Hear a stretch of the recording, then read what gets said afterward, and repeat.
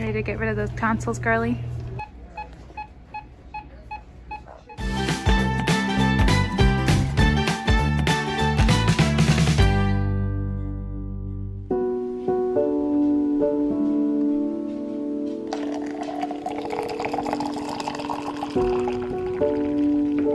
Good morning, guys. All right, so it is surgery day. Avery, our three-year-old, is having her tonsils out and adenoids, and I wanted to kind of just walk you through the experience in case you've ever had, like your kid is ever going through this or you're going through this and kind of like what the day and experience is all sort of like. It is coronavirus season pandemic life so um, things are going to be a little bit different. Only one of us are going to be allowed to go back with her um, so that totally stinks. But we are about to head out to the surgery center. She's having it at an outpatient surgery center that's right across from the hospital so we're first case of the morning so she it's only like 5:30. we have to be there at 6 so hopefully things um, I was glad we're first case because then she has to be NPO, which is like she can't eat or drink for less time. So I'm not gonna show a lot of her just to respect her privacy, but I will walk you through kind of like what the process is like so that you can kind of have an idea of what it's like or what to expect if you're ever in this situation. So here we go. I need to take a lot of deep breaths. I am, I didn't sleep at all this night. I just laid there and imagined every worst case scenario. I mean, I feel like that's normal, right? Yeah. But it's all gonna be fine. The floor that I used to work on as a nurse, we only ever saw worst case scenarios of tonsillectomies and we took care of them, so we're not gonna think about that. Everything's gonna go really well. It's crazy to think like for her surgeon and the rest of the OR staff, like this is just Monday. And for me, it's a day I've been agonizing over forever. And I know in the grand scheme of things, it's just tonsils. Like kids have so much more serious surgeries all the time. Anyway, here we go. You ready to get rid of those tonsils, girly? Yeah. Tried to fit this surgical mask on her face and it was not happening.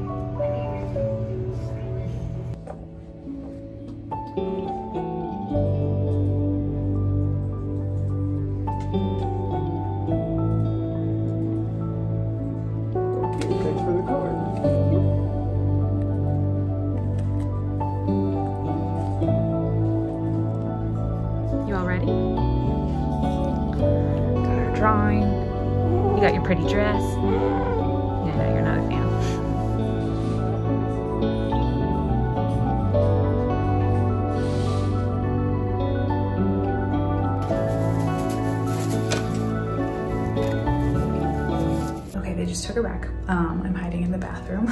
Um, but they, it was really, really like, it was as best as it could be. You know, the nurse was super duper kind and nice and really good with her. Um, they were going to actually give her like the gas to fall asleep or at least not remember anything before they put the IV in. That was something I was really worried about was that they were gonna, I was gonna have to hold her down for an IV and like it was gonna be a whole thing, but she will be like asleep for it. And the way they took her back was super sweet. They told me, they were like, mom, do you want a popsicle? And they were like, and I was like, yeah. And they were like, Avery, will you come look for a popsicle with us? And that was when they took her back to the OR. So there was less like separation anxiety. which was just more like, oh, okay, like I'll go with you. So I feel like that went as good as it could. She had a really hard time like getting dressed on like getting into the gown and on like weight and all her vitals. Like she was just not having it, which I don't blame her. But um, yeah, it was hard not having Joe. She kept like calling for him. Like she's like, I want daddy, like all this. So that was really hard, but it should only be about an hour until we get to, until um, surgery said should be about like 30, 45 minutes. Um, so probably like an hour and 15 minutes until we can go with like pre-op and post-op and stuff. So one of us will be allowed to go back when, and it'll probably be me when she wakes up. Um, and I'm anticipating that being interesting because kids this young have a really hard time coming out of anesthesia, poor kids. So, so far so good. Honestly, it's gone better than I thought. I was really worried about the IV thing, but they've been really, really good. So I feel like we got really lucky. Now I'm gonna go drink coffee in the lobby because there's a coffee machine, um, which is the exact opposite thing of what I need to do because my heart is like pounding. So wise choices.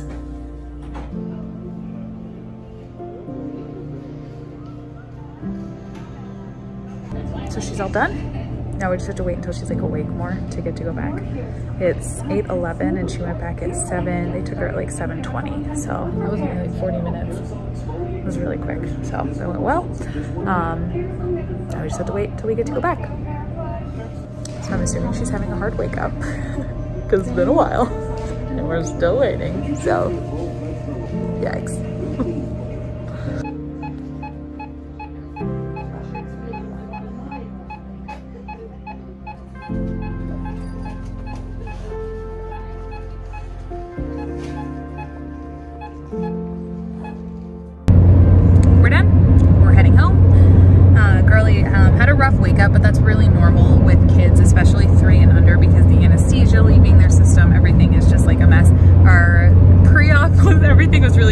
The post-op nurse, maybe I'll update you later, but it was just like a mess, but she's fine. Um, so we are leaving. Her surgery was at 7.30. We got there at like 6, and it's 9, and we're on our way home. So that was a super duper quick thing, but she's doing good. Um, she's really uncomfortable.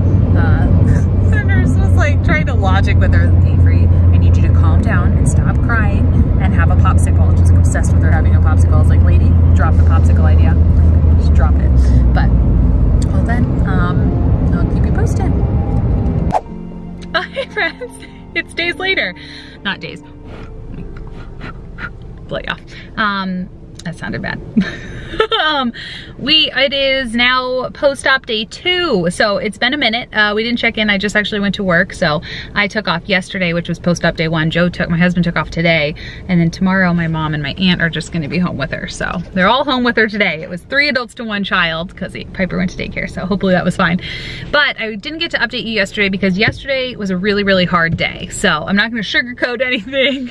I know some of you might have kids that are like, getting ready for this, but I think it's helpful to kind of say how it's really been. So we'll just say how it's really been and it's been, it's been hard. This is also not helped by the fact that Avery is a, hold on, I'm gonna try to fix the lighting in here for us. You always hear like YouTubers complaining about um, like, oh, hang on, the lighting's bad. I'm like, whenever I'm watching them, I'm like, I don't care if your lighting's bad, but then I do the same thing. I'm like, oh my gosh, wait, my lighting. And I'm not nearly as neurotic as most people. I should probably worry about that more. But anyway, there I was doing that. But um, yeah, I wanted to just kind of tell you what it was like. That way, if you ever have kids or any patients, like education around that, then you could provide it. But it has been a rough ride. I definitely, it's been harder than I definitely thought it would be. I don't know why. Like if you look in her mouth, it looks like she has two giant craters sitting like right back here, like just craters that are all like, they cauterize it off so they burn it off. Um, but yeah, so I thought I would catch you up real quick. So we went home from the hospital that first day. I think the last time I talked to you, we were in the car. That day was okay. She had gotten some steroids while she was under anesthesia and steroids are going to reduce inflammation. So I think that day she still had those in her system and we immediately started alternating ibuprofen and Tylenol. That was all the pain control that they had offered. When I worked inpatient as a peds nurse, we used to go oxycodone if they needed it. So felt like the girl got a little gypped, but it's been somewhat working. That first day, our pain control was not great. Even yesterday, it was not good. Um, but I'm not sure that Oxy would have, you know, anything stronger would have helped because our real problem was dehydration, but we'll talk about that. Um, so that first day, it was okay. That day was definitely like, I thought it was bad, but I had not experienced the next day yet. So that day was really bad. Um, we were just trying to get her to drink a lot, offering her any, any, like we had so many different foods and drinks and all these things that she could have. And we'll talk about, I'll give you some ideas in just a second of like how to get them to drink anything. But I tried them all and it didn't work. I went into this like probably a little cocky. I was like, oh, like I, you know, like I was a peds nurse forever. I did T&As like all the time, like not did them, but I took care of post-op T&As all the time. And like I did fine and it wasn't fine. So that day, whatever, we made it through. And the next day, yesterday, post-op day one, um, well, we were up like all night, so I gave her medicine throughout the night, which I definitely recommend. I slept in her bed because she was coughing up uh, and gagging a lot on like phlegm that was getting, I'm assuming just like caught in the back of her throat with the tonsils. So she was like, she wasn't throwing up, she was like spitting up and dry heaving all night and coughing. And I was waking her up every three hours to give her medicine and it was just, it was not pleasant. So I'm sure, I mean, being tired probably led into the next day. But post-op day one, girlfriend decided she didn't want to drink anymore. And one thing you really have to do is drink. So drinking is going to, oh look, fun tag. Go hide. Uh, drinking is going to, let me just get myself situated. Just kidding. What is this? What are you doing here? What are you doing here? Go away. There. It's probably hanging out all day and my patients were looking at it like a handle. Anyway, drinking is going to coat the, like make sure your throat stays nice and lubricated. That way it can heal because things that are really dried out don't heal very well. That's why we like put ointment and everything on wounds so that they can just be happy and not dried out. And it's, if they're not really nice and moist, if they're dried out and cracked, you're gonna bleed more. So it reduces your bleeding risk. And then since it's not feeling dry, it actually hurts less. So hydration is queen here with And um, three-year-olds, uh, three-year-olds in general, kind of hard to get you to do that, even if you're up with all your pain control. But most three, because they're like, no, this hurts. Why do I want to drink? Like it seems so counterintuitive. So most three-year-olds though, you can kind of, you'll find the thing, whatever it is that will eventually get them to let you do the beverage, whether they can pick the drink. Do you want to add chocolate? Do you want to make it chocolate milk? Do you want, Avery really just drinks water and milk. So I like had bought Sprite. Girls never had soda in her life. So I had brought Sprite. I had bought, you know, we were making chocolate milk. I had juice. She doesn't get juice. So she was getting that. So she had like the world. I was like, literally anything you want to drink. I had popsicles, we had yogurt. I had bought little shakes, like little protein shakes for kids, like anything I thought she might like because I anticipated it might be a little hard wanted nothing to do with it. I tried giving her crushed ice because sometimes they'll eat crushed ice, especially if you put like, um, you can get like lemonade packets or something and sprinkle it on top. I did Pedialyte packets on top and it makes it look like um, little rocks, like gemstones, like crushed ice and put the packet of flavoring, beverage flavor, any kind of those flavored water things on top of it sometimes you can get kids to like eat it with a spoon like that and be like, oh, look at these magical unicorn rocks or whatever you want to call it. No dice, she did not want that. Didn't want popsicles, didn't want regular ice cubes, didn't want water in a cool cup, didn't want um, to get any like, didn't want to drink, just nothing. What else did we try? I feel like we tried so many things. I tried putting, she would take medicine like better than she would take water. So I tried putting any kind of liquid I could think of into a syringe and telling her it was medicine and giving it to the doll baby and then maybe we needed to like have her give it to her baby doll or teddy bear and then give it to herself, give it to Jeffrey. That was a no-go. That's her lovey. I tried sticker charts. So I printed out a sticker thing and I said, you know, when you take a drink of water, we'll do this. And then I have a prize for you. I didn't have a prize, but I was like, I'll come up with it later. Turns out I didn't need to. I'm glad I didn't have one because she didn't want to do a sticker chart for water drinks. I tried making it a game where she got to use the little like cup measuring cups for like medicine and did it like shots. Didn't want that. Didn't try to shot glass because one of you on Instagram was like, I used shot glass with my son. And I was like, I'm going to try it. Didn't want that didn't want to have a tea party with it. Didn't want to have a competition, like who can drink longer. Sometimes some kids would be like, you know, oh, let's do this and I'll drink. Finally, um, what I did eventually have to do was hold her down and use a medicine syringe and just hold her down and put it through. And that was just about as pleasant as it sounds. But I mean, at the she hadn't like peed in 12 hours. Like she was very dehydrated.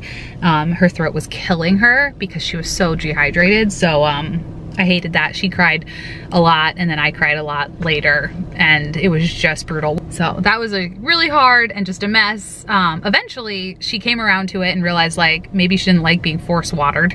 Um, and my aunt would set a timer on her phone and every five minutes she and my aunt would drink and Avery got to turn the timer on and off and she really liked that. So we had tried that before the forced water feeding and she was not into it then, but afterwards that was her preferred method out of all of those. So that's what we're still doing. It is, um, it's been, it's been a, it's hard. I mean, I feel so bad for her. It looks so painful. And when you're three, there's no way to understand, you know, you can't logic with a three-year-old. An older kid, you would be able to like, be like, hey, like, you know, I feel like, I feel like three-year-olds dig their heels in because they're three, whereas like a five, maybe even a four-year-old, you could be like, you don't want to just eat ice cream all day because that's been like, I thought she would be excited just to eat pudding and ice cream and all these other things we have for um, oatmeal, yogurt, you know, like all of her favorite food, but she she wasn't. When she realized we really wanted her to, like she didn't want to, and she's sore. So that's been that. But those are some ideas, some food ideas, some beverage ideas um, going forward. Food in general, just like soft, super duper soft, mac and cheese, oatmeal, yogurt, applesauce, pudding, ice cream, milkshakes, smoothies, um, whatever whatever they want. And um, nothing like hard kind of usually for a week is what they usually say. And kind of just like activity is tolerated. So she has mostly wanted to do nothing. Puzzles have been good because we can do those while we're sitting. Watched a lot of Doc McStuffins, but that is where we are with that. This is a really long update, holy cow. But um, yeah, I'm hoping that it gets better. I went back to work today and that was really hard because I didn't want to leave her. I was like, I don't want to, ah, I just hated it. But I was like, Joe's, my husband's home with her and my mom and my aunt, all of them with just her. So, and they said she did pretty good. So that's where we are with that kind of in this experience. Um, yeah. If any of you ever have any questions about T&As or anything, you can leave them down below and I will happily answer them. But it's been honestly a little bit of a harder experience than I was, I don't know, like I said, I thought like I would be able to just like, she would listen to me, my bad. Also, Avery, did I already say this is very strong-willed? Like very strong-willed. So if you had maybe a child that was less so, like Avery digs her heels in to dig them in, like there doesn't need to be a purpose. but not every kid's gonna be like that. So this is not everyone. I don't want anyone to panic and this is just like our experience. This will likely not be yours. I've had a lot of people who were like, oh yeah, my kids loved like as soon as I brought out the ice chips, they were like, I'm all about it. And like Avery threw them across the living room. So I was like, okay, I think some of this has to do with our temperament. That's where we are. We'll see how post-op day three goes. I hope better. Joe's going back to work too, so it's just my mom and my aunt. And then the next day they go home and we're on our own with her, so yikes. And then I go to work on Saturday and Joe's all by himself. So everyone cross your fingers for Saturday. Saturday might be the day that the scabs fall off and that's gonna be really rough. I haven't told him that yet. He's like, she'll feel better by Saturday yet, right? I'm like, everything's gonna be fine. You're gonna do great. Just got home and was informed that post-op day two today is much better, much worse, worse than yesterday. So I guess I took, picked a good day to be the one that I went, stayed home. Just kidding. I wish I was home, but it's okay. It's all gonna be okay. Just gonna get better. She needs to drink. The girl won't drink. The girl won't drink. Post-op day three. Things are improving. She took a three hour nap while I was at work and has, she hasn't really eaten anything, but she's had a little bit to drink. She's just in a much better spirits place. So post-op day three. How are you feeling, Eve? Piper's learned to walk with this walker. Oh, oh, what's happening here? We're feeling well enough to be bossy, so things are improving. How are you feeling today, Avery? Super fantastic this afternoon. Why, thank you. That was very articulate. Thank you. Are you thinking about walking? She just took off with the walker the other day. Just like stood up and went. I was like, oh, okay, new skill. But the end is in sight. If you have children doing this or your patients, just warn them. It's a little rougher than you would think it would be, but they will get through it. You will get through it. You will one day sleep, so I tell myself. It's been a really good, um, remember, eye-opener for all my hormones that are like, just one more baby, one more baby. And then I've been up with her every three hours all night and sleeping in her room and getting no sleep. And I was like, oh, okay, yeah, maybe not. maybe not. Tonsillectomy, excellent birth control. In case that IUD fails. Don't fail. Do not fail me now. You had some mail, Abe. Some people sent you some mail. Are you excited too? Oh, what's on that card? Look, these are stickers. They're mini stickers. Oh, stay seated. That says just a little note. And then you can open it. Hi Avery, best wishes with your surgery. Hope you enjoy your stickers. That one's from Autumn. And it says sit, stay, heal. Dear Avery, get well soon. Love Teresa, Moonshine, and Sunshine. what is that? Oh, thank you everyone for sending her goodies. Those are Avery stickers, Pipey, because she had her tonsils yanked out of her head. Actually, I think they were burned off, but technicalities. Thank you for people who sent um, some goodies to Avery. It, do you like them? She's nodding. that was really sweet. She is, let's see, what are we? We're post-op day four. One, two, three, four. It's been hit or miss today, but not nearly as bad as day one, two, and I think three maybe were. And not because of her throat either. Yeah, and my mom and my aunt left today, so she's been, it's been sad, huh? We miss them when they leave. But we're drinking a little bit more. We're obviously feeling well enough to have a donut here. That's sliding right down, no problems. Right, things are deteriorating, so I will wrap this up in a, in a few minutes. Post-op day six, rough. I don't know if this is the day we're losing our scabs. She will not let me look in her mouth. She won't eat because she just, like everything she tries to eat, she tries to swallow and it comes back up. So I'm assuming um, that things are really swollen and maybe everything is scabbing off and coming off. But Girly is not happy today, poor thing. She just seems absolutely miserable.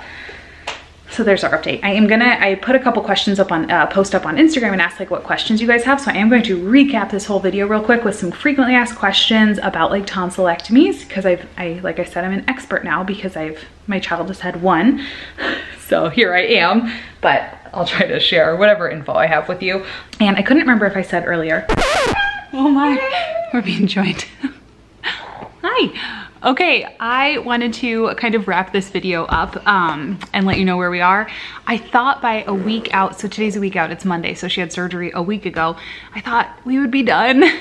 but and we could have a nice conclusion where I'm like, there you go. This is the experience. Let's wrap it up with a nice bow. That has not been our experience. We are still on the struggle bus over here, but maybe at the end of the week, by the time this goes up, I'll be able to put like a blurb at the very end and let you know when she actually started to feel better. Uh, because we're still, it's still really rough. I, um, she still doesn't really want to drink a lot. She is definitely dehydrated. We have been pushing fluids however we can.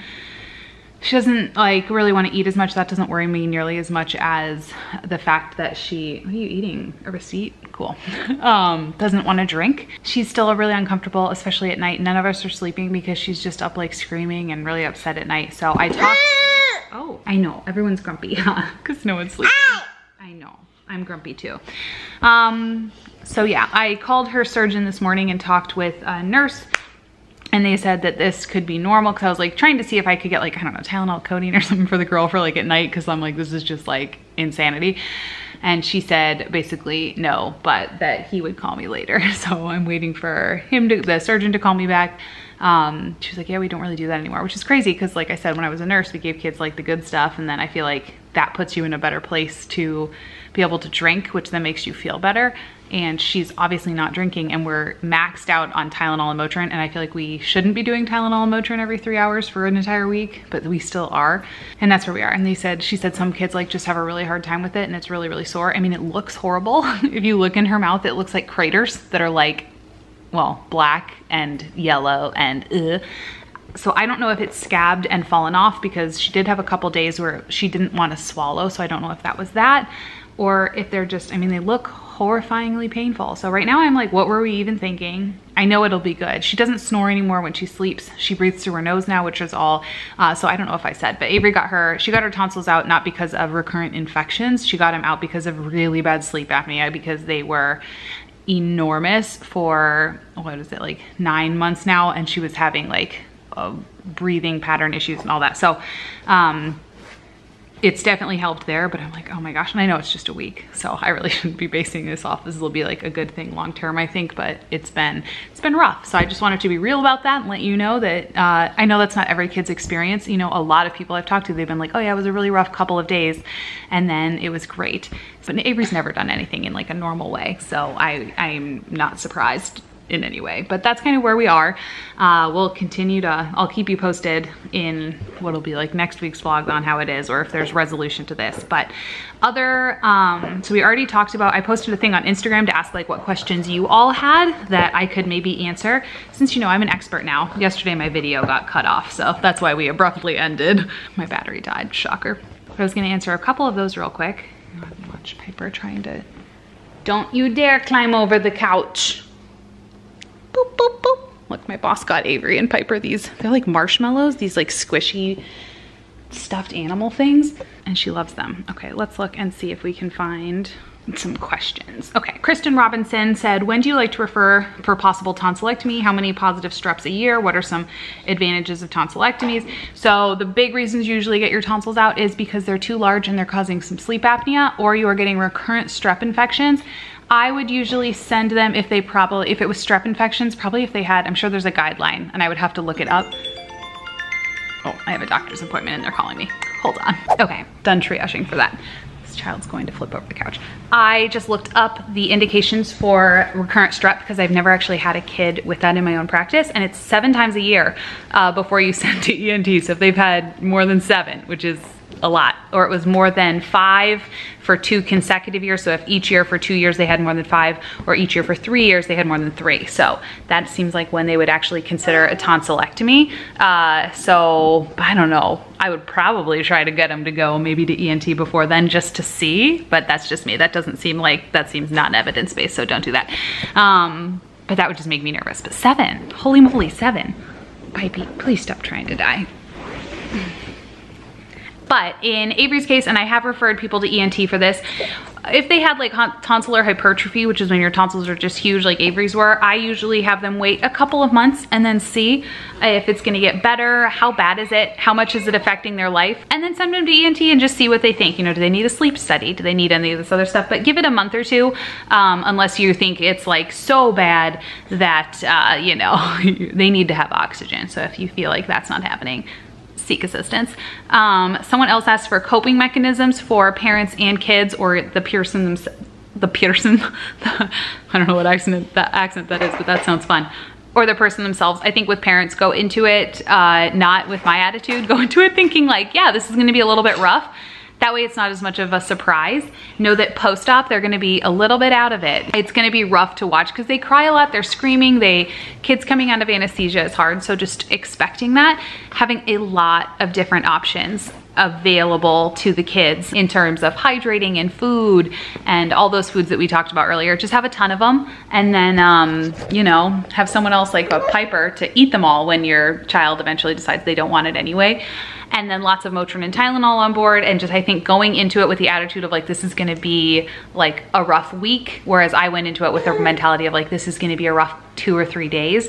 And then if it's short and normal then yay you anticipated worse. And if it's what we're doing you expected it. So um, also if you have someone else like help we had my aunt and my mom came out and that was I mean I don't know how we would have done it without them because they were able to just like help me and Joe take time to like kind of rotate because it, when you have a very uncomfortable and sick toddler, that can wear on you um, just from all the crying and whining like constantly for seven days straight. So I highly recommend if you have anyone who can come into town or just help you, that has been honestly so, so great. And then at the same time, reminding yourself that like you need to have patience with them because they don't feel good, but you also have to have patience with yourself. Like we accomplished nothing all week, absolutely nothing. And that's totally okay. Someone else asked about bleeding. How do you know if they are bleeding uh, and when that would be like an emergency? So the biggest way you would usually um, know they're bleeding, because she was saying like if they're not spitting it out, would be they would throw up because blood is a very uh, irritant. Blood is a huge irritant to your stomach and kids humans just in general, like when you have blood in your gut, you almost always throw up or you can see it in your poop. Your poop would get like black. Um, or so that would be one way would be your poops black, uh, like really black and tarry. Or they're, you know, they would throw up and it would kind of look like what you would call coffee ground emesis. Um, so it would kind of be like black specks in some vomit. Hydration by having them drink or having a humidifier in the room helps too to keep that area moist so it's not going to bleed. And actually the biggest time you are most likely to see bleeding is actually a week out, so kind of where we are now when everything is scabbing and kind of falling off and healing, you're more likely to bleed. But I would say that any real amount of bleeding, I would probably call your uh, surgeon, especially if you're worried about it. That's what I would do. I am not an expert here, so those are kind of the ways to identify it, but I would just call. Yeah? And that's been pretty much our tonsillectomy experience. Yeah, you like seeing yourself? I know. You're chipper, huh? Um, if you have any other questions, feel free to leave them down below. If you have other advice, and yeah? Uh-huh, cheese. Oh, that's nice. If you have other advice, maybe you work with these kids all the time or you yourself have had them out. I've heard it's really hard as an adult. Uh, um, hi. Then let me know down below as well so that this could be a learning opportunity for a bunch of people. Thanks for hanging in there this week. Like I said, I'll update if we have any other updates at the end of the week, but so far we are yeah, that's I I I is pretty much how I feel, Piper. That's right. So thanks for sticking around. Thanks for all your sweet words. And again, for all like the messages and cards and goodies that you guys have sent her. Honestly, it's like been the only thing that makes her smile this week. So you are very appreciated. Hope you have a great rest of your week and I'll see you next time. Bye. Piper, Piper, don't go in that cabinet. Nope.